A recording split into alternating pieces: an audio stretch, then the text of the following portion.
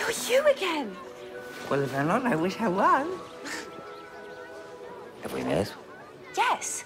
Well, no, I mean, not yet. It's funny, I feel I should know you. Well, we have met once when I was younger. Oh, well, I'm afraid I don't recall. That's because it hasn't happened yet. Oh, when will it happen? Years from now, when you're older. I'll meet you when you're younger and I'm older. I realize it doesn't make much sense. Makes perfect sense to me. I'm Tarrant. I know. I'm Alice. Alice, you seem to have time all mixed up. That is Johnny Depp and Alice through the Looking Glass and opens in theaters and IMAX 3D on Friday.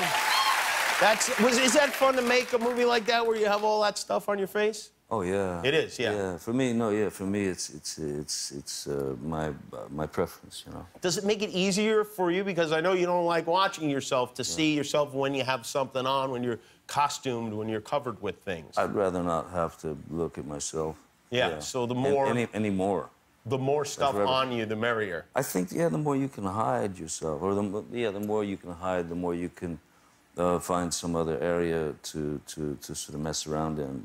Because your first responsibility really is to not bore the audience. You know, don't bore these guys. Right, right. So if I come out of the gate uh, the same every time, you know, um, it might This get is boring. an interesting choice of hats you um, you uh, um, wore here. I think the Mad Hatter with the Make America Great Again.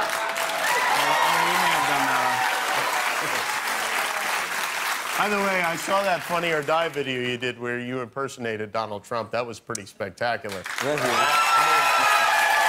I didn't. I never would imagine that that was in you anywhere. You know, uh, when uh, when I spoke with Adam McKay and Owen Burke, and they were talking to me about doing it, they said, "How would you like to make a, a feature film in four days because we have to get it ready for the Iowa caucus or something?" And uh, you know, what's, how would you like to play Donald Trump? I had no idea. I mean, how do you?